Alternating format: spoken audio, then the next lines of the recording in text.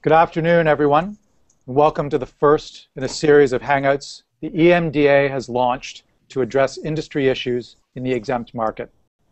The EMDA has recently celebrated its 10th anniversary as the leading national voice for the exempt market in Canada. Today's theme is crowdfunding in the Canadian context, and thank you all for joining us. I'm Sean Stanleigh. I'll be moderating the session, and I'm joined by a number of industry experts today, and I'll be introducing them shortly. I'd like to remind everyone that this webcast will be recorded and available at www.emdacanada.com. So, what is crowdfunding? The word refers to online campaigns that raise awareness about a specific project or business and solicit funds from individual investors. It's been made popular by such sites as Kickstarter and Indiegogo. In Canada, provincial securities commissions are debating whether crowdfunding that enables investors to take an equity stake in a business should be permitted. While they weigh the benefits and drawbacks, non equity crowdfunding is taking off. Crowdfunding websites helped companies and individuals worldwide raise $2.7 billion from the public in 2012. That's an 81% increase from the previous year, and that's just released data today. So, uh, equity crowdfunding made up the smallest chunk of that, providing a mere $116 million of that total. So, where is Canada headed, and what should our regulatory landscape look like? Our first guest is Brian Koscak, the chair of the EMDA. Brian's a partner at the law firm of Cassels Brock and Blackwell LLP, located in Toronto, Ontario, and he practices in the area of corporate and securities law. Brian is also a member of the OSC's Exempt Market Advisory Committee, which is considering new ways to raise capital in Ontario, including crowdfunding. Brian has spoken at numerous crowdfunding events, He's uh, presented a framework for legalizing equity crowdfunding to securities regulators across Canada, and he's actively involved with national and international crowdfunding associations and clients, including funding portals. Welcome, Brian. Thanks, Sean. Hi, everybody. I appreciate the opportunity to talk about crowdfunding today. So, Brian, tell us why the EMDA is educating folks about crowdfunding. Well, Sean, the Exempt Market Dealers Association of Canada, or the EMDA, is a national non-for-profit organization. We represent issuers, dealers, and other professionals in the exempt market uh, right across Canada. As you mentioned in your introduction, we just celebrated our 10th anniversary, so we've been around a long time, and we're the leading association in the exempt market. The EMDA is keenly interested in promoting capital raising exemptions across Canada, and crowdfunding is one of them. Our chief concern is that there's an access to capital or funding gap in Ontario, Sean. Other than raising money under what's called the private issuer exemption from, say, family and friends, um, you can only more or less raise money from accredited investors in Ontario, and this is extremely difficult. In the OSC proposal that was uh, released last December, it said less than 4% of investors in Ontario and in Canada qualify as accredited investors. 96% of the population is denied access to the exempt market. Surely we have to democratize the exempt market and let more people, the public, invest. And we need to do it in a right, balanced way. This will raise more money for businesses, create jobs, and also provide access to investment opportunities that were previously denied to the public. The EMDA has been looking at how the exempt market dealers can sell securities on the internet for about two years now. And uh, crowdfunding represents, again, one way of doing it.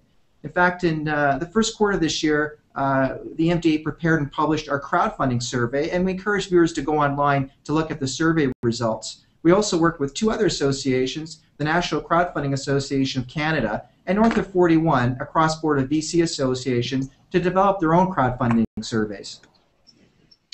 Okay, so uh, we also have Marty Gunderson, and Marty's Executive Vice President of Investment Capital for Productivity Media.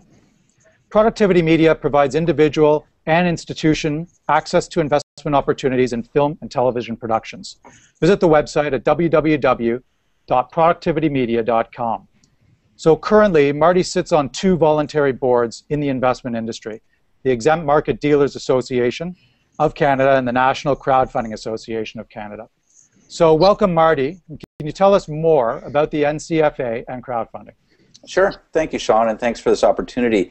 Uh, the NCFA is a nonprofit association advocating on behalf of all stakeholders in the crowdfunding space in Canada. Our mandate is to create a vibrant hub of participants, including businesses looking to raise capital, uh, portals looking to offer crowdfunding opportunities, and professionals looking at providing services to them. Uh, we're an inclusive and support both uh, technology-based companies and non-technology-based companies like uh, creative arts, uh, creating movies and such.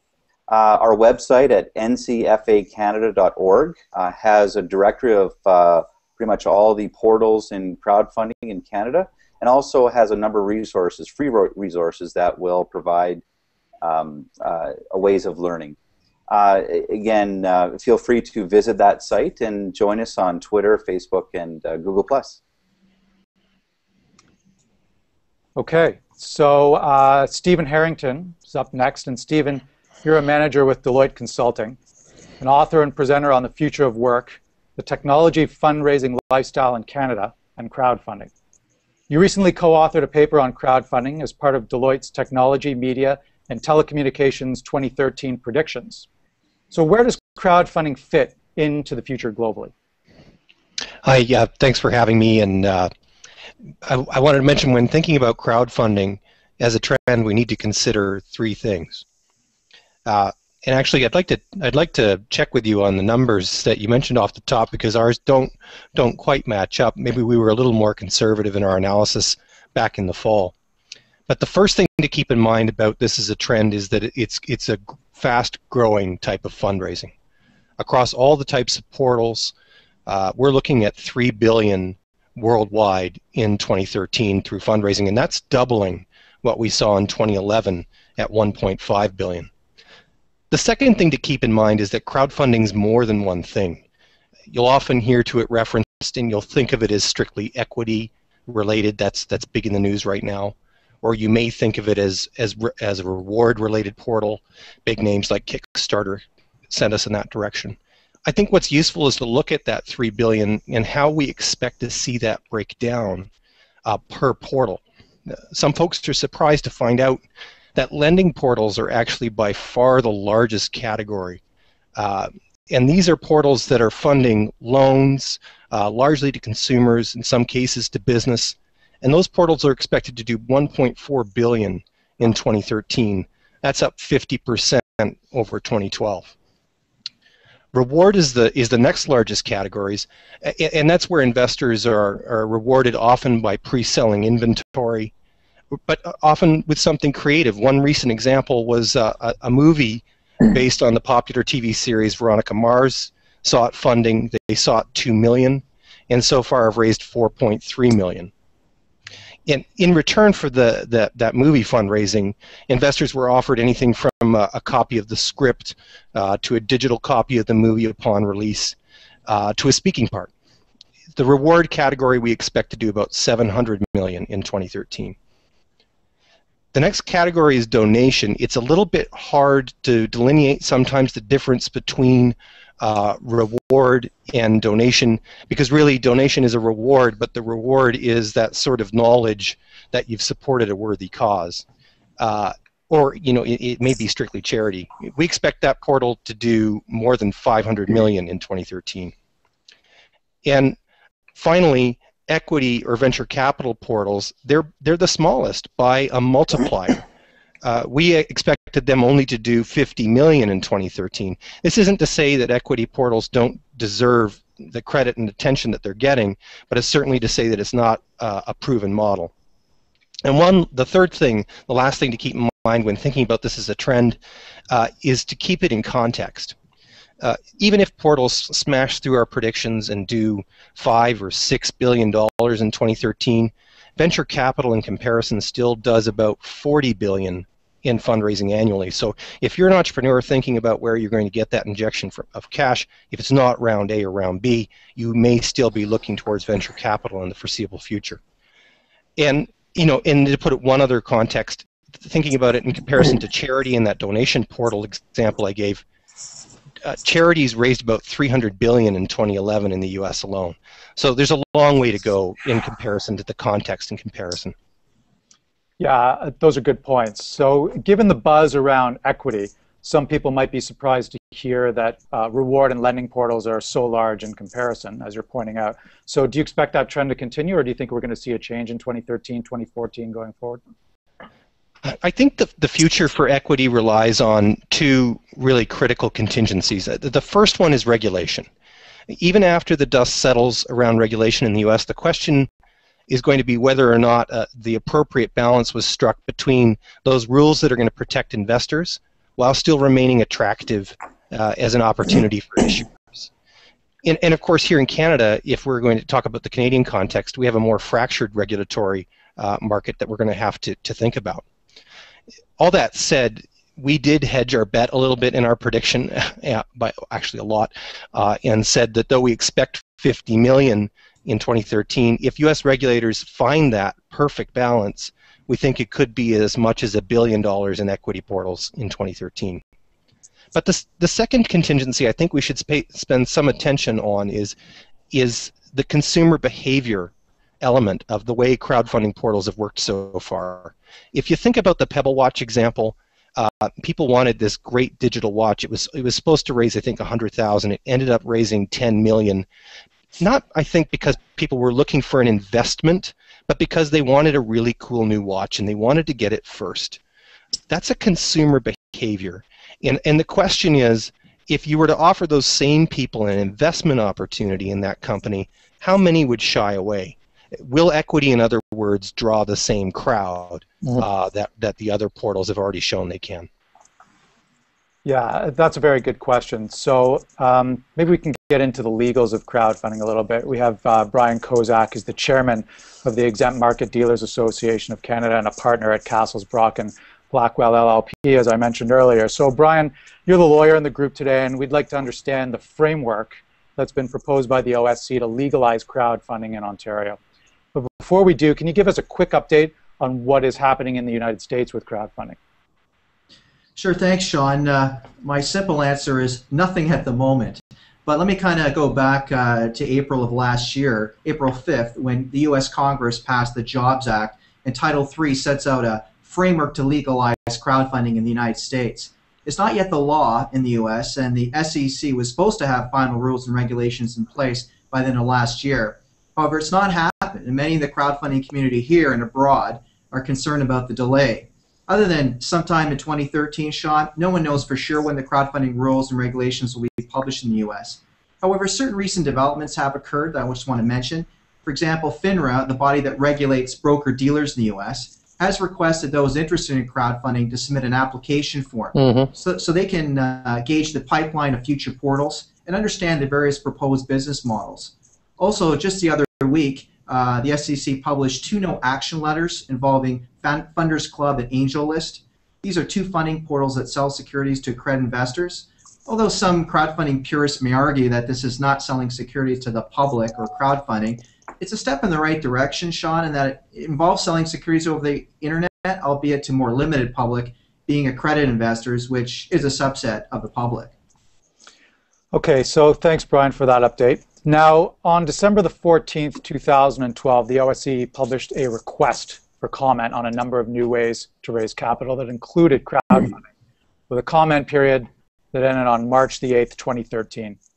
So the OSC received about 100 comment letters, which people can find on the OSC's website, and had various public consultations and meetings with a number of interested parties. So I understand the EMDA has been actively involved in education and information about crowdfunding. For example, in February 2013, the EMDA and the CVCA held a crowdfunding conference at the National Club here in Toronto with over 200 attendees, and that included staff from the OSC and the New Brunswick Securities Commission. My understanding is that it was a great event.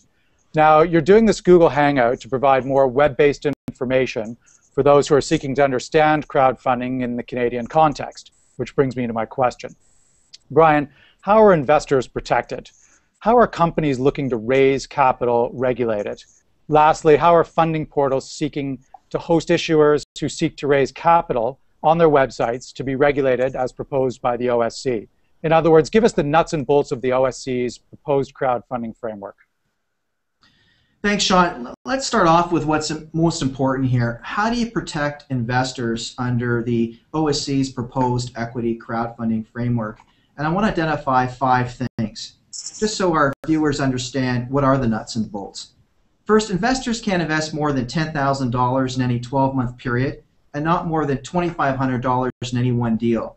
These are bright line tests. They're not based on income or assets. This is to keep it simple for everyone involved. Second, investors must be provided with an offering document called an information statement. I'm sure just like on Kickstarter, you're going to see videos and maybe even responses uh, from management through blogs and other social media. We can probably expect that as well, but that specifically is not mentioned in the OSC proposal. Three, investors are going to have a statutory right of action to sue a company for a misrepresentation in that information statement if they get it wrong. So there has to be some accountability by these companies. Four, investors have a two-day cooling off period after uh, which uh, they can get their money back if they want. Lastly, investors must sign a risk acknowledgement form, could be a crowdfunding risk acknowledgement form, if you will, which they confirm that they fall within the investment limits I discussed uh, uh a moment ago. They understand that they can lose their entire investment and that they can bear the loss.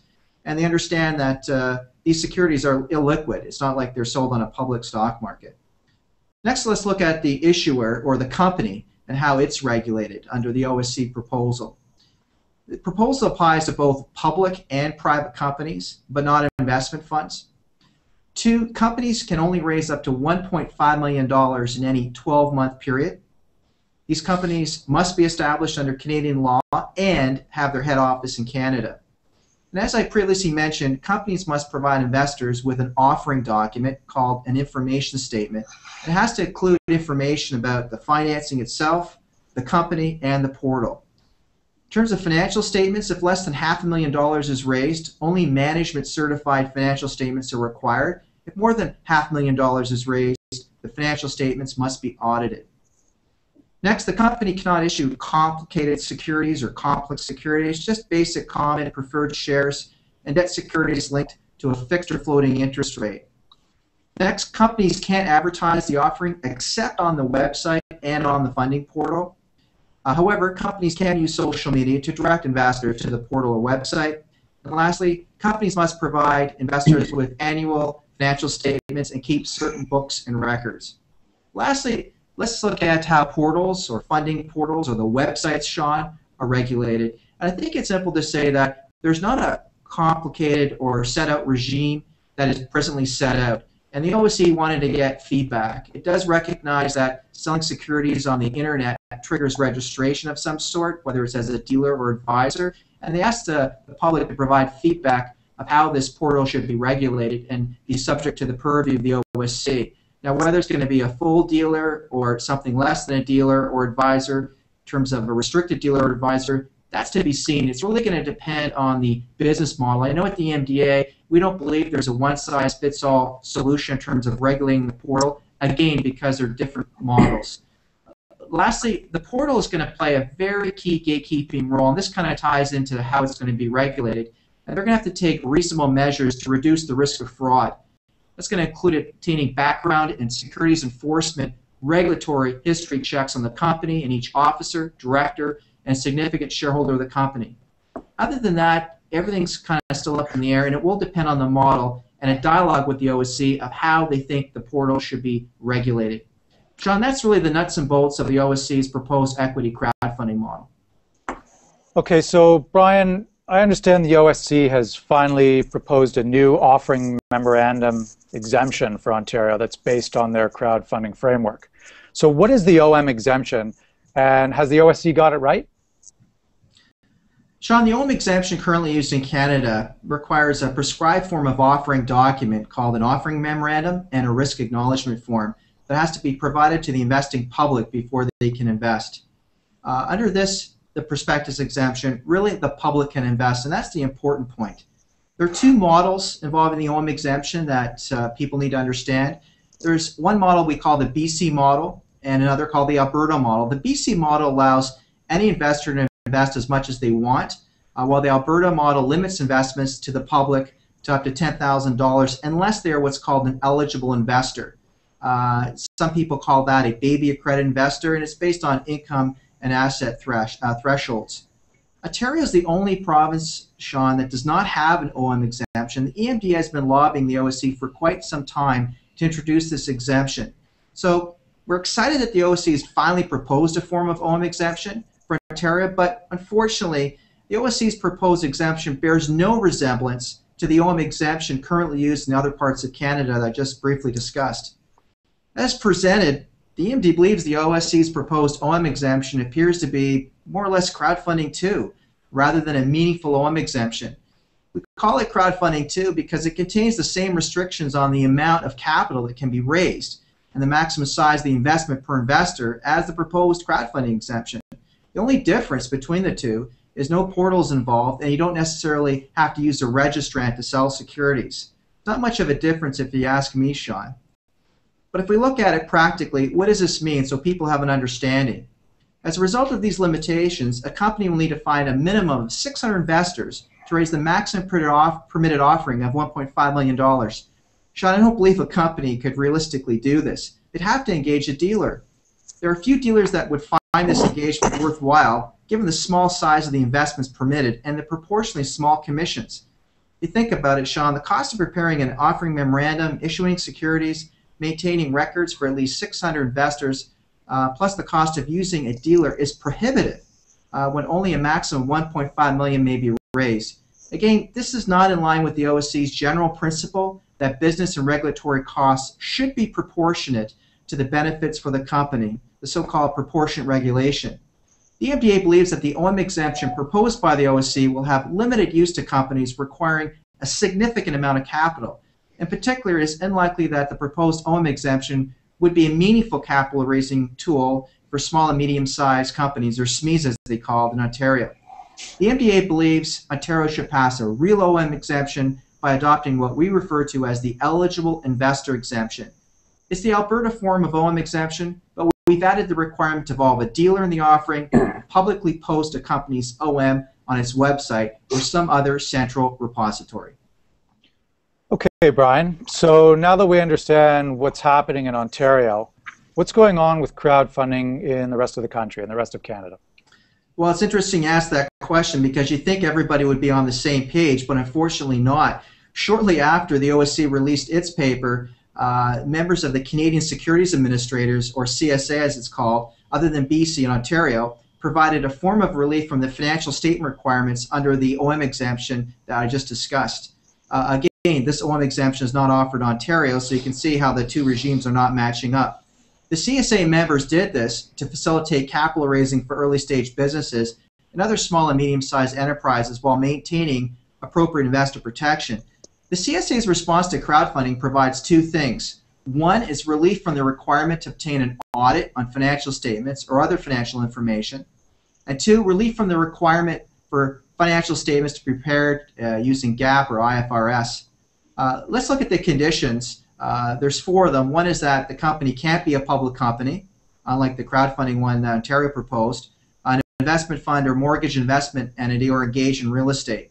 Uh, the company can't distribute complex uh, securities. That's the same as the Ontario proposal.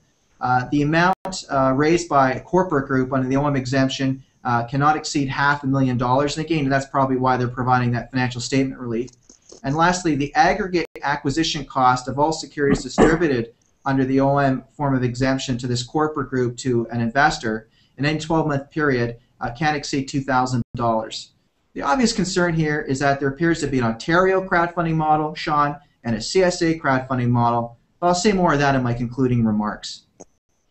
Okay, thanks. So let's move on to the VC perspective. Chris Arsenault is managing partner at Inovia Capital. It's an IT-focused venture capital firm he co-founded in 2002. Mr. Arsenault is a director of the Canadian Venture Capital and Private Equity Association, the CVCA. Chris has been an early stage technology investor and entrepreneur for the past two decades and is an active supporter of matters that have significant impact on the Canadian tech and venture capital industry. So that includes Article 116, the C100, Startup Visa Canada, and equity crowdfunding. Chris believes entrepreneurship is a state of mind, not a title and not a profession. An entrepreneur has unique character traits that enable him or her to do amazing and sometimes impossible things. More information about Mr. Arsenault and Inovia Capital can be found at www.inoviacapital.vc.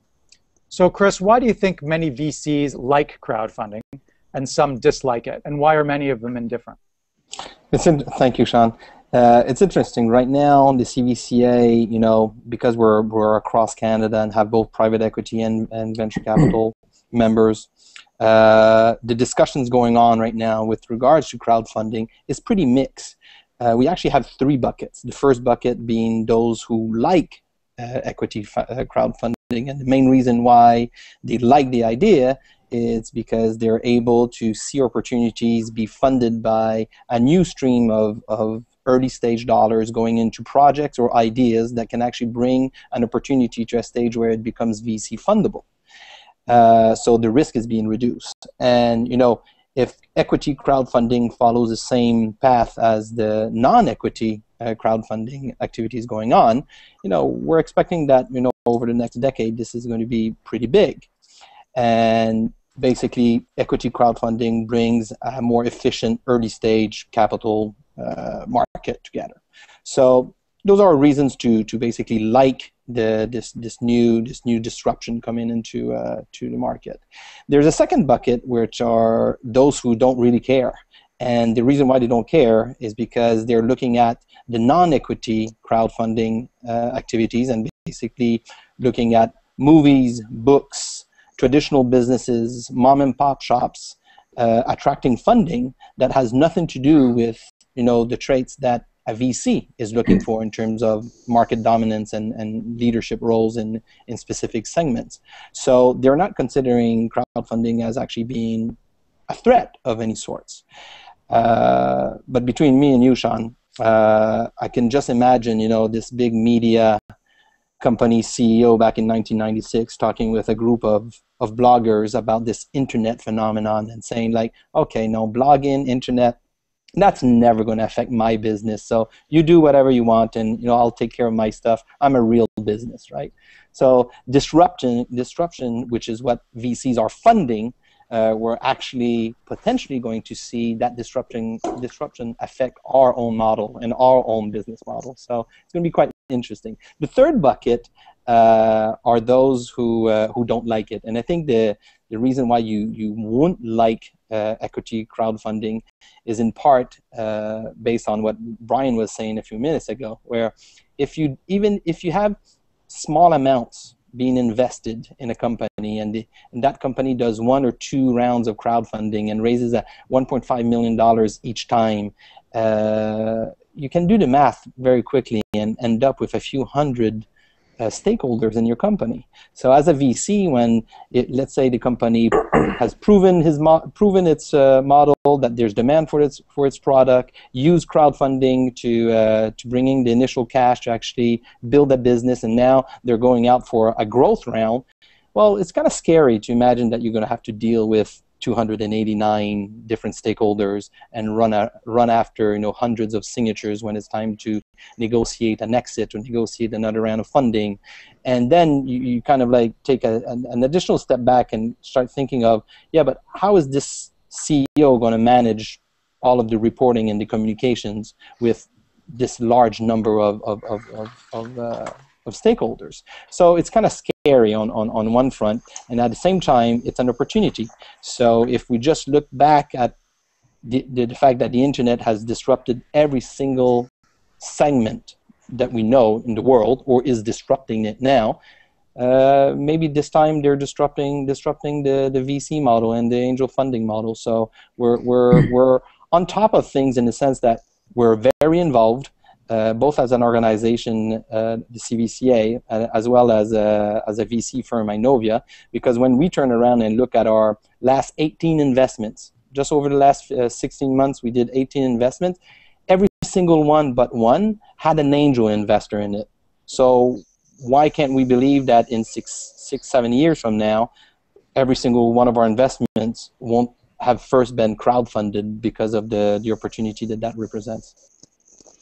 Yeah, that's a very interesting point, Chris. Thank you. Um, now we're going to get the incubator perspective. And Sunil Sharma is here with us. And Sunil is the managing director and chief connector for Extreme Startups. It's a world class venture backed tech accelerator based in the heart of downtown Toronto. Backed by five of Canada's premier VC funds, Extreme Startups looks to find, connect, and fund and help grow Canada's next generation of technology companies. So, with a rigorous program of mentorship, corporate partnerships, and hands on coaching, Extreme Startups has become a sought after program for early stage companies in the internet, social media, mobile, software, gaming, and e commerce domains, as well as other sectoral domains. Prior to joining Extreme Startups, Sunil was the International Director of Canada's Venture Capital and Private Equity Association, the CVCA, where he's been active in helping connect the Canadian venture capital and private equity industry with international funding partners and institutional investors. While working with the CVCA, and Sunil still maintains an active role with the organization, Sunil was on assignment from Canada's Department of Foreign Affairs and International Trade, where he served as a member of Canada's Foreign Service. And more recently, Sunil was appointed the head of consulate at Canada's consulate in San Diego, California. So, Sunil, why do you think startups would like or dislike the concept and the idea of crowdfunding? Yeah, thanks, Sean. So, I mean, we kind of look at it from the perspective that we're on the front line of what Chris was talking about in this entrepreneurial uh, ecosystem in Canada. Um, and it's interesting because we're looking to find entrepreneurs that have very very big, and very disruptive ideas, and to provide them with risk capital that's coming essentially from a group of investors that are looking uh, for their own source of deal flow and subsequent investment. So when we look at crowdfunding, uh, it's it's coming to light in a couple of areas. One is that very often crowdfunding platforms are very investable businesses. Uh, they're very exciting, very growth oriented uh, um, opportunities, and I'm sure that it takes one just to, if you just spend a few minutes looking at the recent annual report of Kickstarter uh, or of Indiegogo, you can really start to understand the enormous business potential of these uh, platforms. And even at Extreme, we're starting to see a lot of applications that are coming at the crowdfunding uh, paradigm, perhaps with different themes uh, a clean tech crowdfunding um, opportunity, or one that's focusing on a different type of entrepreneur. So it's a business into itself, and it's a, a can be a very exciting one. Um, the second is that as a startup, uh, often they're using crowdfunding results as an early indicator of future success. So really you can start to look at market validation from the perspective of how well these campaigns are, are working uh, out there in terms of uh, uptake. So of course Pebble Watch would be a, a, fantastic example of a campaign that way over exceeded its uh, objectives and it's certainly validated the business idea uh, inherent in the, in the company. Um, Interestingly, now in startups, we're starting to see a trend towards physical goods and uh, hardware related startups, which I think do fit very nicely into crowdfunding campaigns. Another is the area of uh, 3D printing or uh, rapid prototyping. Again, a very hot, very investable space, uh, and accelerator programs worldwide are seeing an influx of applications as this type of technology is really producing uh, enormous opportunities. And then another area I'll just mention is in wearables. So we have uh, uh, very uh, interesting sensor related technologies. Uh, mm-hmm. we're going to see massive disruption with Google Glass coming on board and, and what that's going to mean. So these are the kind of um, startups that I think fit very well to a crowdfunding model. Not to say that digital uh, opportunities don't, because certainly you can do a lot of pre-sales and pre-orders um, for digital or, or uh, internet-based business models. Um, and then the last interesting idea from, from an equity perspective, and I fully agree what Chris was saying about the complexity of follow-on investment if you happen to have a, a multitude of, of individual investors. And that's something that I think the entrepreneurs are going to have to consider uh, very seriously before they launch their campaign with, it, with respect to what they expect to do after their campaign. Obviously, an enormously successful campaign may diminish or eliminate the need for venture type investment, but many, many times it would likely work in parallel. Um, but I do think that uh, these type of campaigns can become uh, seen as very, very successful uh, if done properly. Uh, and so then the last point I'll make is that um, you could start to see accelerator or seed funds uh, really take advantage of the jobs legislation in the U.S. and start to raise their own funds through a disaggregated crowd model, where mm-hmm. uh, individuals are starting to make bets on people like Chris and his his propensity to find early stage uh, opportunities as an investor with his team of investors, and that might provide an opportunity for individuals to get involved with seed investing in a more sophisticated way with a with with the involvement of a very proven um, investor. Okay, thanks, Sunil. So uh, before we wrap up, let's move on to some final thoughts.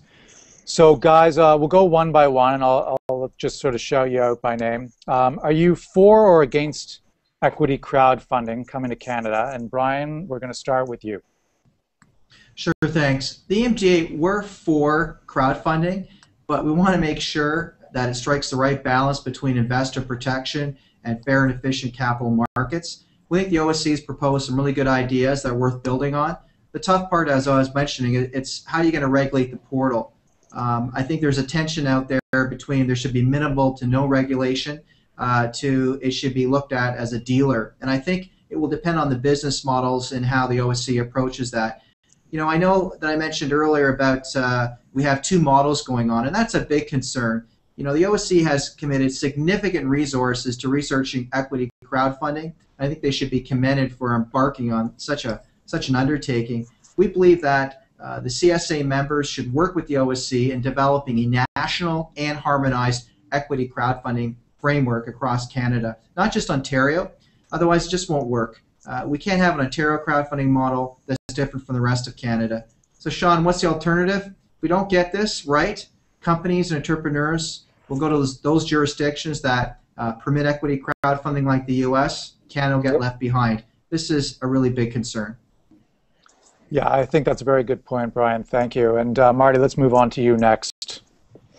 Yeah, uh, Sean, I, I think um, you know in a very short period of time, uh, if we uh, if we don't get this right, there's going to be a large sucking sound of capital coming uh, from the south, and uh, uh, and then money will be funneled to ideas coming out of the states, as opposed to funding some of the best and brightest ideas here made in Canada. Um, you know, obviously, collectively, we can't make that make that happen. We've got to work to see that equity and securities based uh, crowdfunding works here in Canada. Um, you know, we, we, we see other business models like the, the Kickstarter uh, and Canadian versions of such that are working very well, thriving, seeing uh, uh in, in incredible amounts of capital raised, uh, with uh, basically having signed T-shirts as rewards. the opportunity to provide a expectation of profit for some of these uh, initiatives is tremendous, and uh, I think we need to see this uh, go forward. Again, as Brian mentioned, with a balance between uh, uh, fostering capital um, opportunities for investors, but also protecting investors as well. So I absolutely, and my association is uh, fully on board with crowdfunding. Okay, thanks, Marty. And Chris, what do you have to say? Well, I personally believe that equity crowdfunding is inevitable.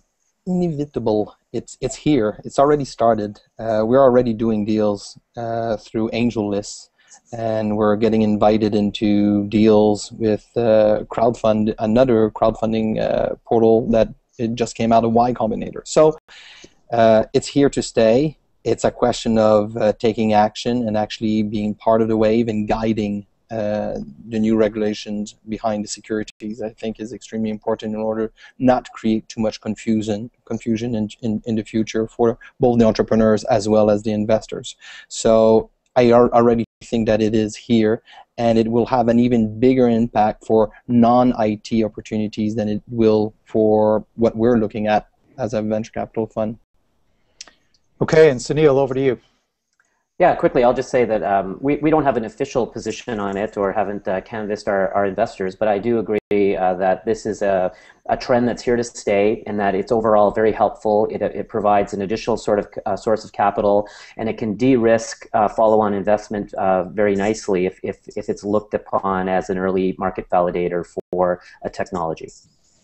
Okay, thanks, Sunil. And uh, Stephen, final word from you and maybe because um, you're the lone guy who doesn't have his name and logo underneath him, maybe just remind everybody of your full name and job title before you launch into your final thoughts there. Right. So, uh, Stephen Harrington, manager at Deloitte. I, uh, to me, I, I, I think that we really do need to look at how crowdfunding is going to work in Canada. Um, my personal concern is that given the scale uh, that we have in Canada versus the U.S., we need to be diverse in our approaches to crowdfunding. We need to make sure we explore equity, certainly, um, but reward. We need to look at regulation around lending as well, which is really leading the way so far globally. And, and I, I, would say I think we stand a much better chance of this if we can get all the stakeholders in Canada behind this idea. Uh, the venture capitalists, certainly um, financial institutions, both levels of government, uh, incubators that, that, that support the technology sector. If we're all pulling together, we have a better chance of building something where there is real evidence of early wins, which will con- convince Canadians, convince the crowd uh, to get involved, which we certainly need in order for this to work. Yep. Okay, great. So uh, I'm Sean Stanleigh. I'm the editor of Report on Small Business at the Globe and Mail. I want to thank all of our guests for being with us here today. I want to thank the EMDA for having me as the host. I'd like to thank everybody out there who was watching and just let everybody know that this will now automatically be archived to the EMDA's YouTube channel where it can be viewed again and shared. This is a very hot topic, uh, not just in the markets that we were dealing with today, but also in the media, and it will continue to be, and it's going to be very interesting to see where everything ends up. So thank you all again, and have a great day. Thank you. Thanks. Thank you. Thank you.